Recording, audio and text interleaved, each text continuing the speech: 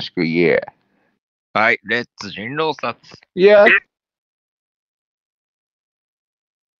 役職をお選びください。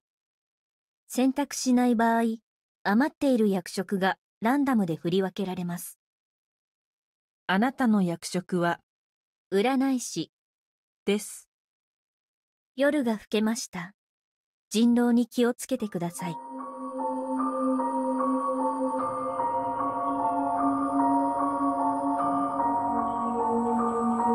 まあゲームになんじゃない ?24 とか、ほぼほぼ初見でしょう。ゲームになんじゃない？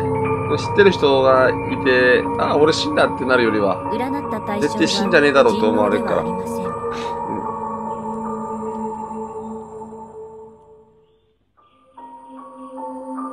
夜が明けました。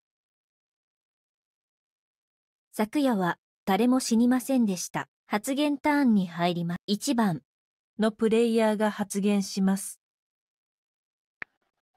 初手か。一番村人陣営特にしようございません。あー、僕正直あの初順は結構後ろの方が好きかな。だってこれ一番バッターってマジで面白くなくないかなって感じだけど。そうだな。まあ、浦安さんはちゃんと役に触れてほしいし、まあ、村は普通に白くなってほしいかな。で、えーっとね、くあの黒い、黒い位置上げるときとかは、えー必ず理由を挙げてほしい。うん。まあ、捏造とかでね、陣外さん捏造して黒い位置を上げてくると思うし、なんだろうな。まあ、やっぱ殴り返す陣外多いよね。うん、殴られたから殴り返すって思うけど、うん。まあ、正当な理由を挙げて黒い位置を上げていけばいいと思ってます。で、村は白くなって勝って、白圧迫して勝ちましょうってところかな。はい。えー、進行論は別に場面固まったら夢話だから言いません。はい。4あ、2番さんどうぞ。2番、のプレイヤーが発言します。はい、おはようございます。まあ、楽しく遊べれたらいいかなとは思ってるんですけども、えっ、と、まあ、あの、さっき遊んだ人、えっ、と、最後間違えたので、今回は頑張ろうと思いますけど、まあ、正直、えっ、と、そうですね、あんまり、あと話すことないんですけど、えっ、と、まあ、一番さんの、えっ、と、まあ、皆さんに、えっ、と、狼探しましょうみたいな感じで、よえっ、と、声かけをしていたところが、まあ印象良かったかなっていうところです。他の人すいません。あと1番さんしか情報ないのでわかりません。次の方どうぞ。3番、のプレイヤーが発言します。はい、僕、占い師です。西野です。2番さん、後ろです。まあ、先に1番さんの印象特にないんで、はい、省きます。僕、やってほしくない動きだけ言いますね。あの、霊能は潜伏はやめてください。で、騎士は、えー守り先が明らかにあるのに、そこを守らずに変態護衛するみたいなことはやめてほしいです。他については、まあ、センスに任せます。その盤面によって全然違うと思うんで、ただ今言った2つだけは守ってほしいかなと思ってる。はい。それが、あの、ローリーになることないと思ってるので、守ってほしいですね。まあ、あと何ですかね。村スラとか絶対やめてください。村スラはやめてほしい。村スラもう絶対釣るもん。あと、スムラスカすのもやめてほしいですね。一人でもスカしちゃうと全然話変わってくるんで、はい。スムラスカさないようにしましょう。はい。じゃあ、回します。4番、のプレイヤーが発言します。お、おはようございます。えーっと、3番さんが占いして、何白で2番が白だったってことですね。ああ。まあ別に1番さん、新婚論を述べただけで色違がするかつするわけなくて、まあ2番さんの話に対しても別に色落ちしなくって、3番さんも別に占い師ってだけで別に対抗出てくればフラットに見るっていう形でありまして、そうですね。うん。まあ、二人かけてるって状況なのでね、ここはね、しっかり精査していかないと、村目線が負けてしまうという状況ですね。うん。まあ、それくらいしか言うことがないんだが、進行論。うん、僕は別に、うん、二人かけた状態でやったことがないので、進行論なんか特にありません。そうですね、対抗が出てきた場合は、占い精査しっかりしていって、まあ、今日はグレーズリーっていうのはまずありえないのかなっていう形ですね。ってことで、5番さんに回せ5番、のプレイヤーが発言します。占い師せさ。うん。簡単だよ。うん。3番ってムーラリ出してるでしょ？じゃあ偽物なんだよ。うん。石について出てほしいとか出てほしくないとか言わないんだもん。偽に決まってるでしょ？うん。騎士占ったらどうすんの？うん。ってことよ。スリーチに上がったら出るとも言わないんだから偽よ。2番、4番はきっとね、新確定占い師に出会えるよ。うん。その人は3番と違ってムラリ出さないから。薬精査もしない、釣り位置についても、グレテサもしない。えー、女性が大好きって言い続けて、印象を落とし続けて。そうだね。赤唐辛子は白いって言うかね。うん。赤い唐辛子。別名がある。うん。その人は白だよ。ちゃんとした伏線を張って。そして、2番さん、1番さんの位置だったっけが。1番が2番がわかんねえから、とりあえず2番の位置で、えー、潜伏で出るから。そして、新名を落とし続ける人が真の占い師。以上。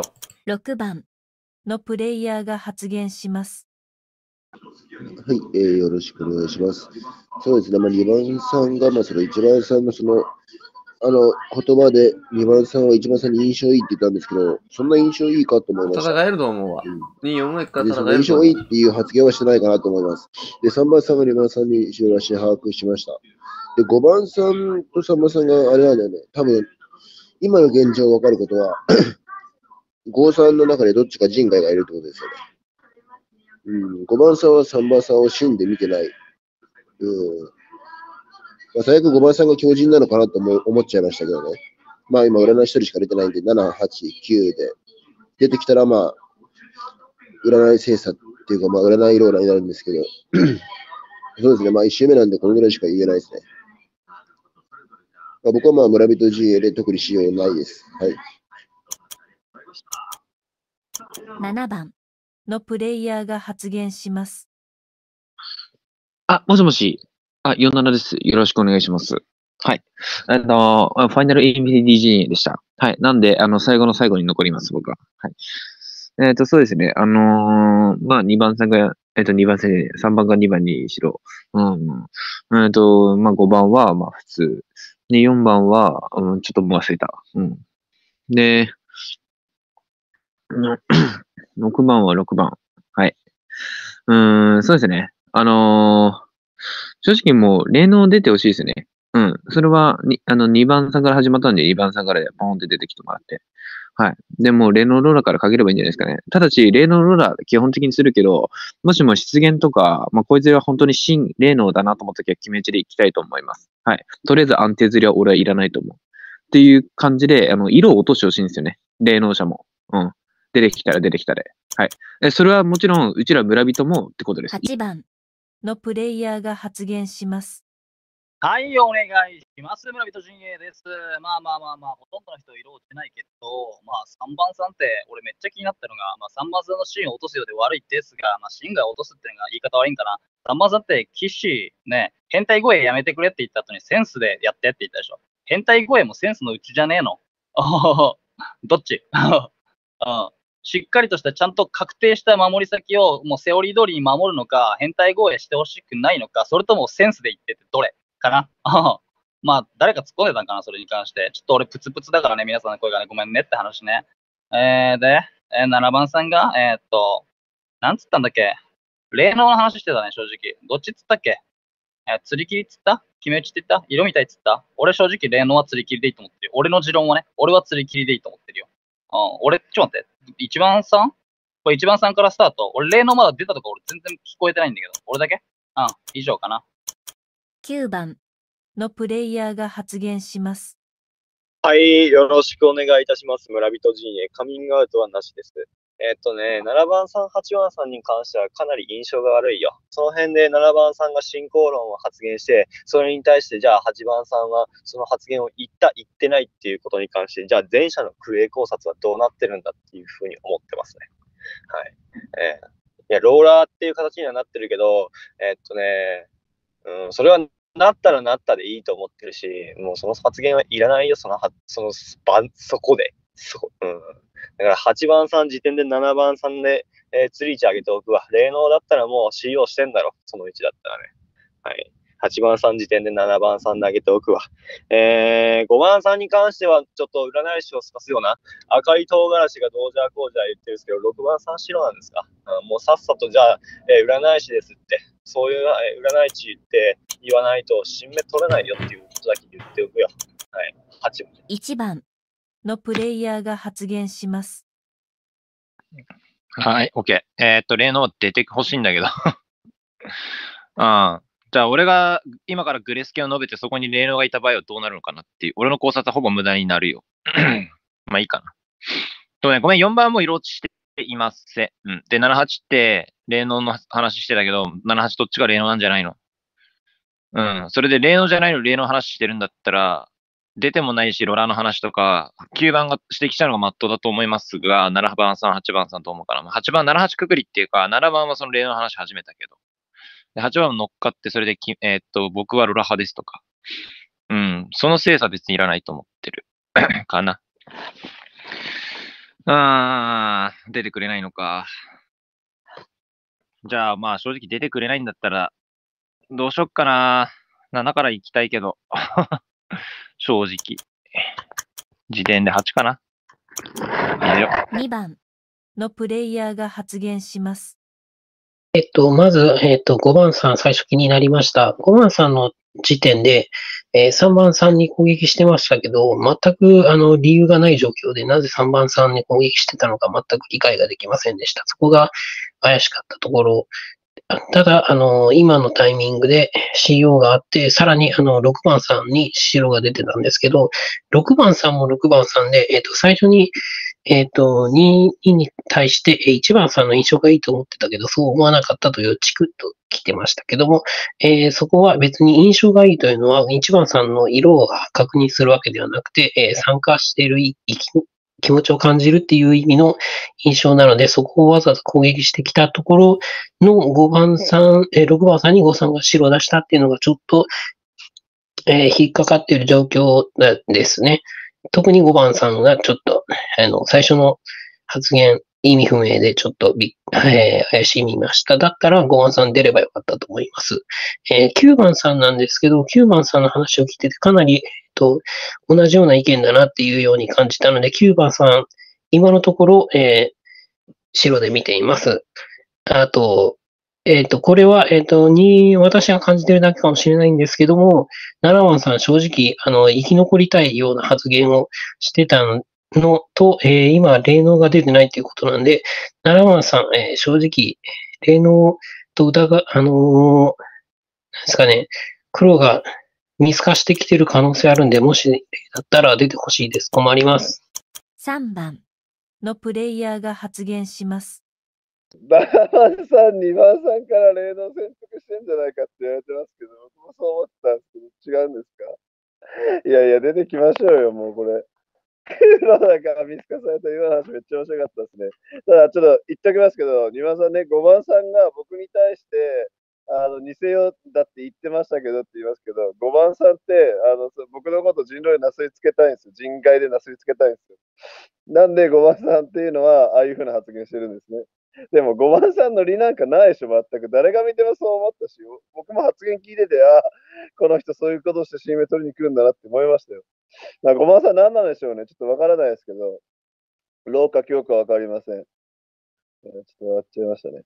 まあ、7、8ですかね。まあ、自然と9の印象がいいってなってますし、僕もそう思ってますけど、まあ、9番さん、まあ、すごくまっとうなこと言ってたと思うんだけど、7番さん、8番さんがちょっとねって感じだったんで、自然と9番さん印象良くなるんで、まだ発言、白くするの早いと思ってますよ。まあ、誰も白くしてないですからね。4番さんも色落ちないんで、4番さん2周目ちょっと発言で、あのちょっとおかしいなって思ったら、もう全然4番さん入れたいなと思ってる。まあ、現状7、8ですかね。7、8。7番さん、それだったら全く意味ないですよ。7番さんがマジで。役だったら出てきてくださいね。なんで今日は7番さんが8番さんで決めたいですね。8番さんが村の時に言いますけど、僕がそのなんだろう、変態声しないでください。これは絶対、あの、それセンスかもしれないですね、確かに。それを僕の印象悪いと思ったなら申し訳ない。8番さんが村なので。4番、のプレイヤーが発言します。おー、俺グレーに見られてるぜ、ヤッホイっていう感じなんだが。え、飲めるわけないじゃん。いやいや、俺は釣りは飲めない。うん、ごめんね。うん。ごめんねしか言いようがないわ。えー、とりあえずなんで潜伏したのかっていう5番さんの発言を聞いてみないとな。わかんないな。78か。そうか、そうか。78。うーんって感じ。えー、6番さん。6番さんはもうみんな村目に見てるのっていう感じなんだけど、前半の方。うん、678別にどこでもラインあるんじゃないかなと思う。うん。どっちでもあり得るかな。え、なんで潜伏したのか、その理由がめっちゃ聞きたいところではある。はぁ。グレー精査になるんだよね。うーん、どうせ俺高卒見ないからな。どうせグレーに見られるんだろうな。っていうところで僕使用するわ。あ、狩りだよ、狩り。うん、騎士だよ、騎士。うん。これでいい？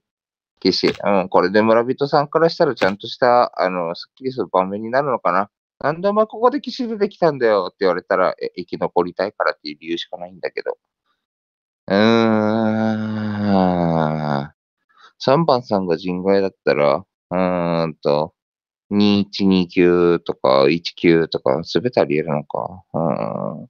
待って、でもさ、ここさ、2人かけてるんだからさ、新打ちしないといけなくなってくるんだよね。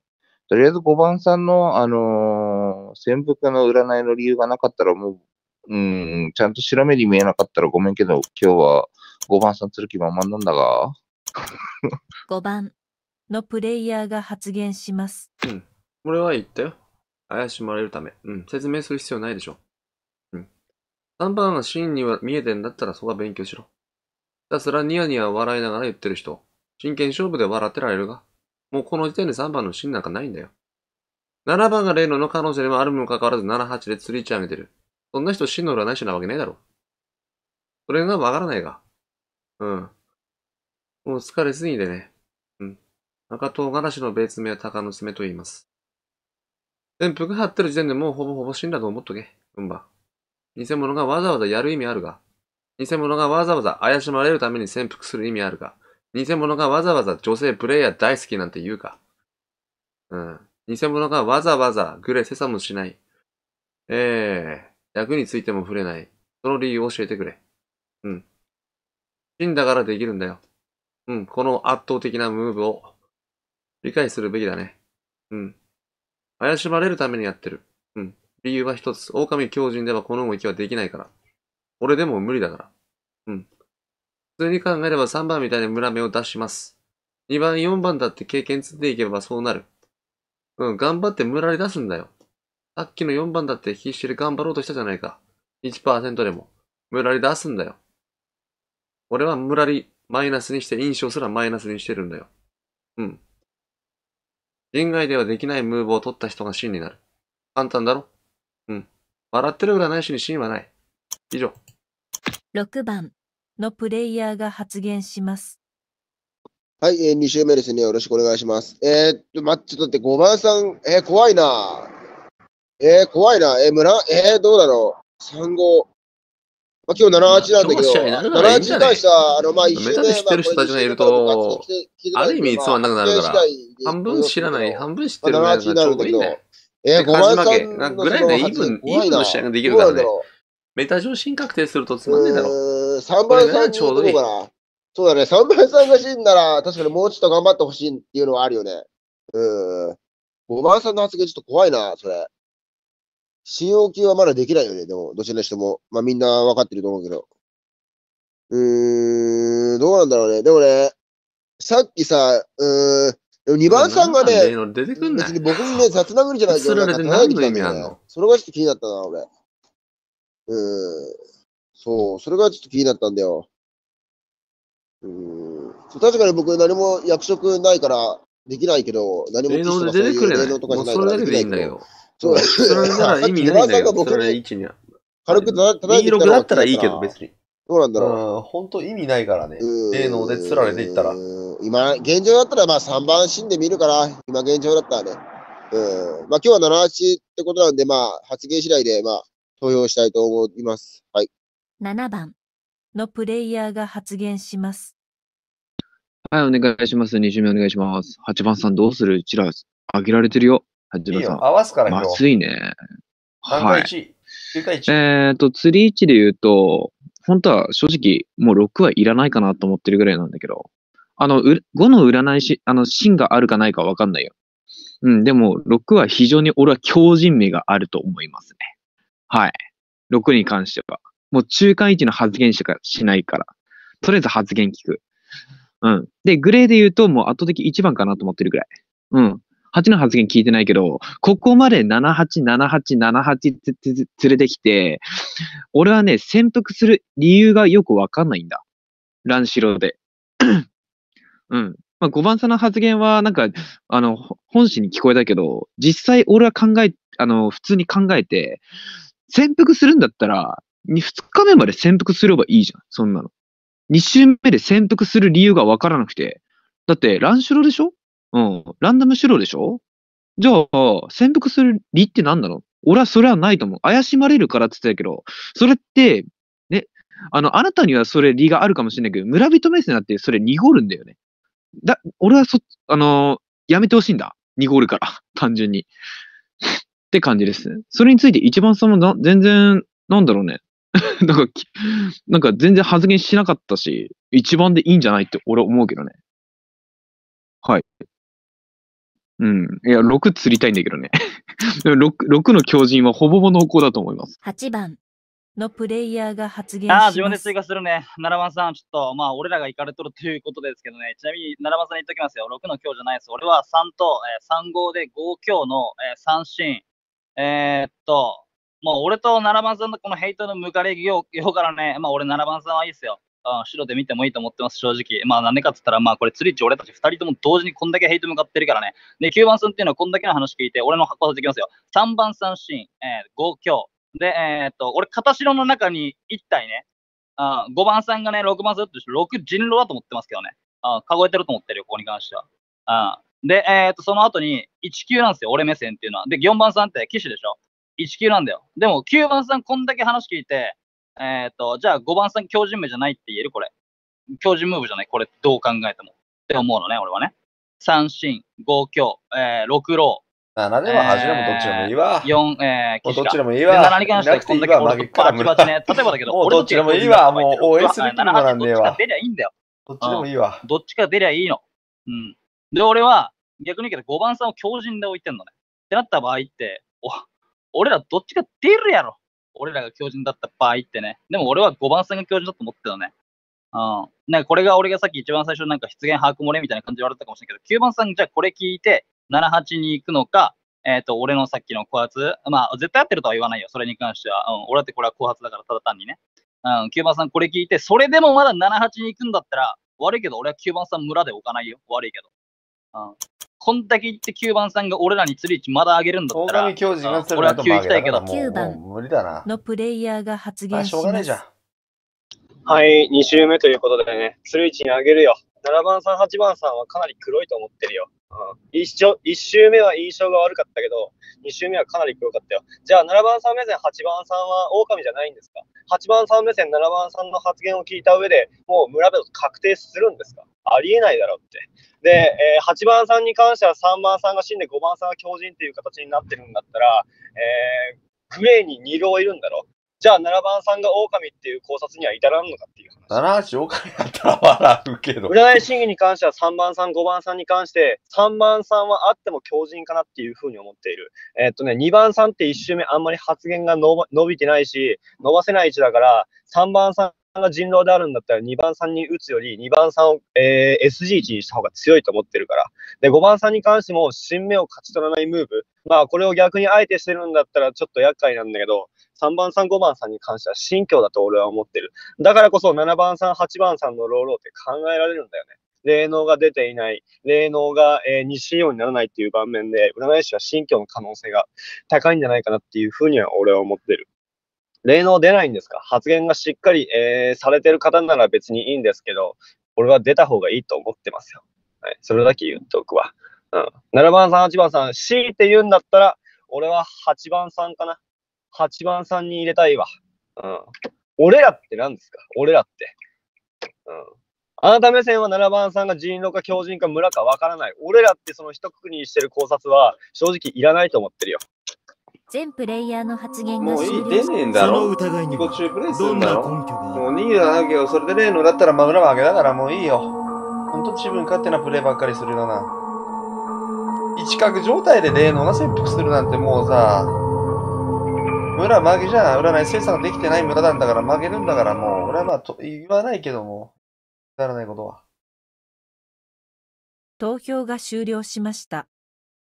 追放されるプレイヤーは8番、8番の遺言を発表してください。聞こえますかこれ？あ9番さんやべえよ、マジで。マジで。俺9番さんもらったら相当やべえよ。俺と3番さん、5番さん、新居を追ってて一緒の目線で、で、78ローロー。な、やべえでしょ。78ローローだった場合って。こんだけヘイト向かっとって78ローローでどっちも出ないの？新居出たやつと8番、3番さんってすらしないってってずっと言ってんでしょ。で、8番さんってさ、8番って俺か。まあ、うん村負けるからもうなんかくちゃくちゃなってきたもん。マジでする出なきゃ9番マジやべえ。マジでやべえ。二番例のだからだったらまあ、やべえって言い村負けだから方悪いけどさ、78ローローって100ねえから。そもそも俺が白だからね。うん。まあ、占い、もう霊能者に関しては、まあまあ、俺の白が出た時点でね、うん。まあ、7の白が硬いと思った方がいい、正直。うん。7の色は分からん。が、俺で、俺で白が落ちた時点で9黒だと思った方がいいよ。なんで3、3進、えー、5強まで一緒で、まあ、どっち、内訳は違うかもしれんけどね。なんで78ローローなんて思うんだけど。9番さんマジやべえ。夜が更けました。人狼に気をつけてください。占い師の方は夜のアクションを行ってください。占いしかねえだろ。ほんでも裏負けだろ。それしょうがねえだろ。もう安定策取るしかねえし。ほぼほぼ村負けだなとは思ってる。だから8が、俺のシーンを見たらよかったけど、見ねえんだよ。もう、まあいいや。村負けだから。占った対象は人狼です。うん。まあそらそうだろ。この囲いはもう臭すぎだから。臭すぎだから。夜が明けました。昨夜は1名の方が亡くなりました。3番、4番のプレイヤーが発言します。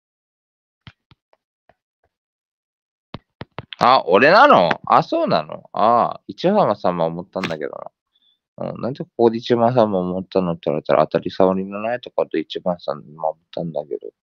えー、え、待って、これ俺、ああ、そうなの？あ、ごめんなさいって感じ。うーん。え、どうなんだろう？え、今日9番さ釣りでいいと思うんだけど、僕は別に。え、これで縄足りないから占い精査って言われたら、はあ、8番さんが、あ、違う、9番さんが占いしようで、8番さん白なんでしょ？で、えっ、と、5番さんが2黒なんでしょ？で、なんで例の太鼓出てきたんここで？マジかよ。え、2黒なの？待って待って待って待って待って。えー、っと、お、9例の？9例のでしょ？それは分かってるね。9例のでしょ ?9 例ので、えー、8番さんが白だったら、ううーん、今日はどうなんだろうな。占いローラーでいいと思うんだけどな。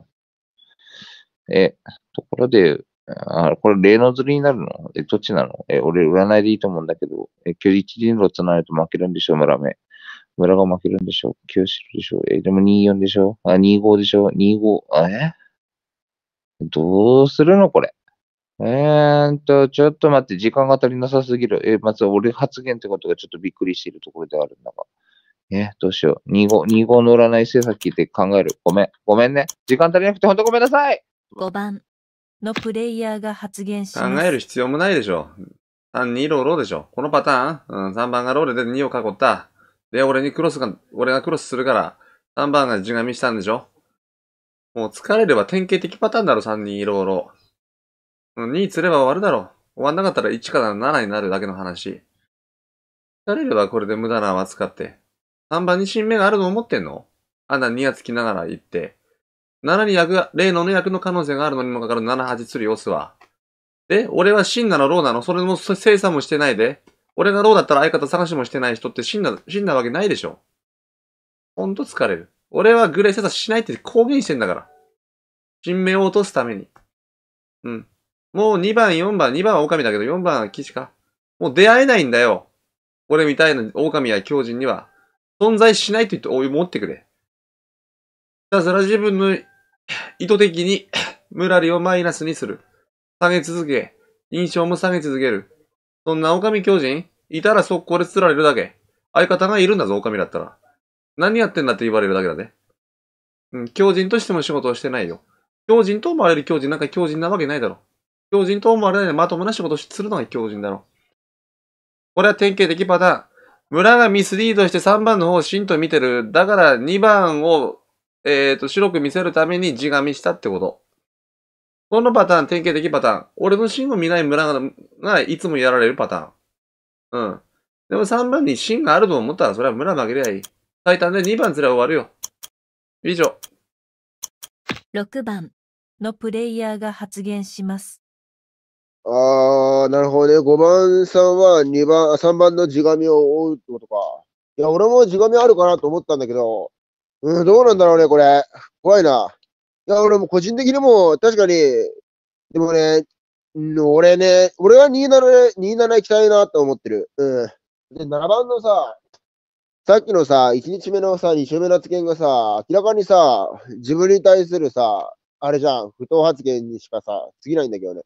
普通78でさ、取られてんだからさ、その8番のその僕ら発言、それも、そっからしてあれなんだけど、個人的には7行きたいから、俺、今日。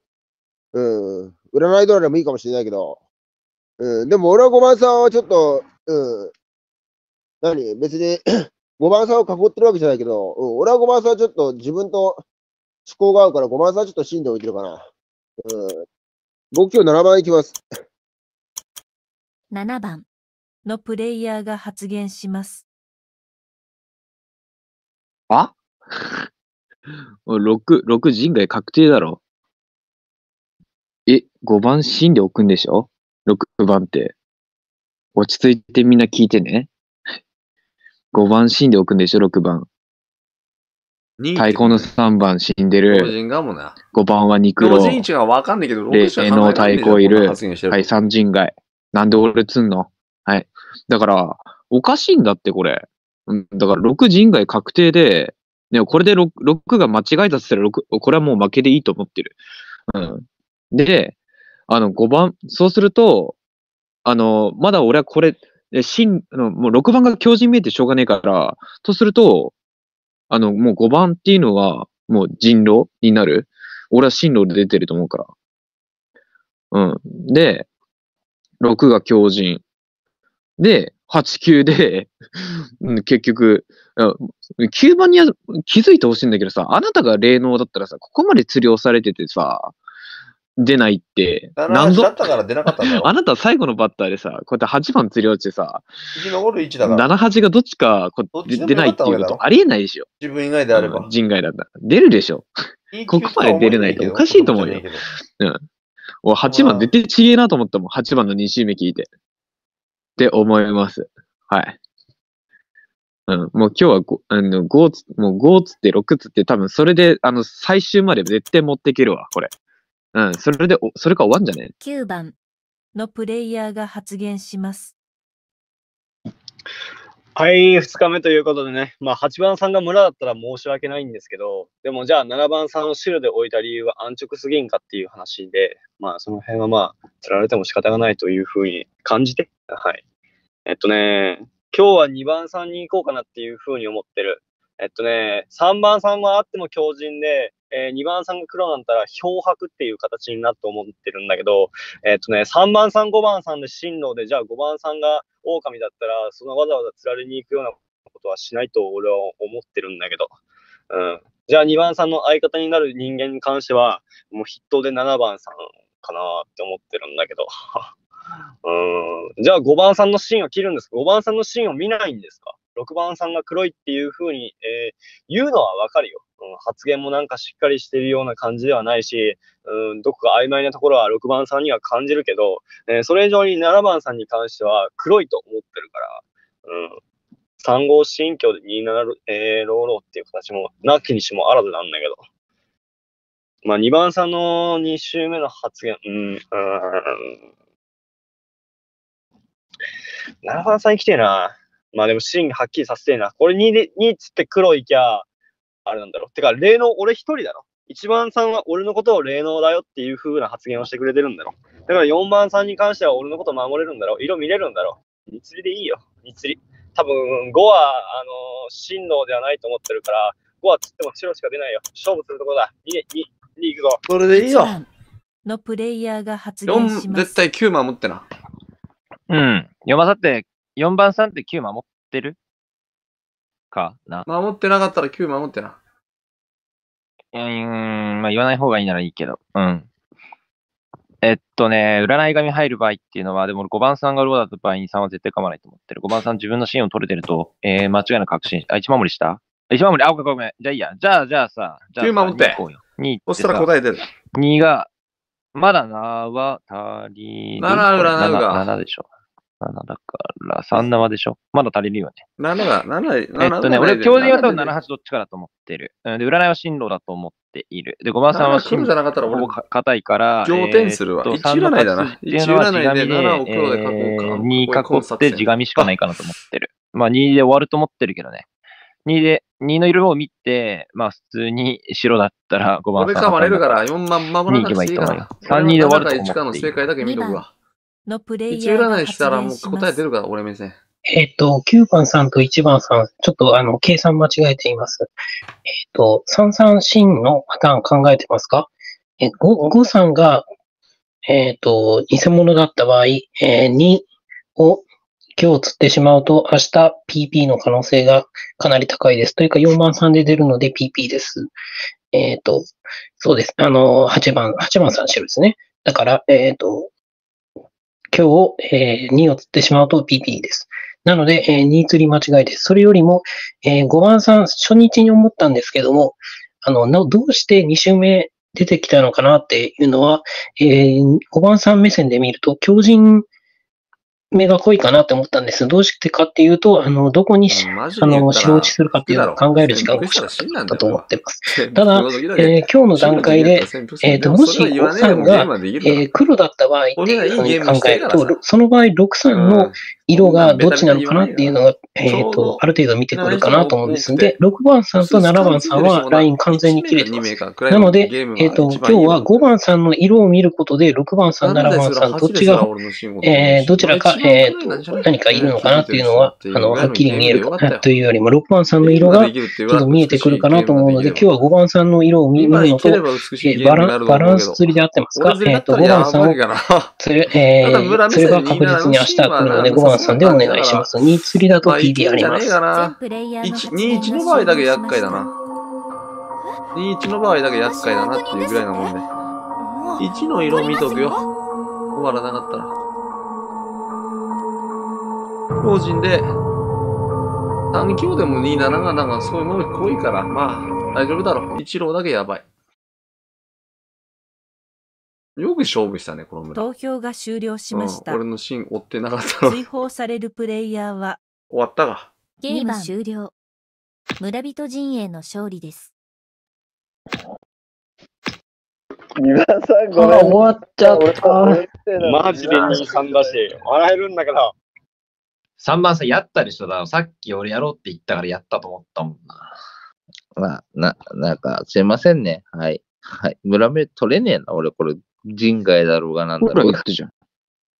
これ言ったじゃねえかよ、お前。あ、よ、4番さんがどうしましたか？はい。はい。やっぱほら言ってよ、これ。うん、5番シーンだって俺。言ってよ、俺は。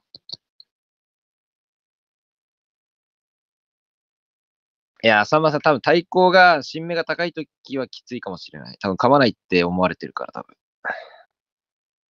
あれってか、91、あれ？霊能どっちだったの？結局。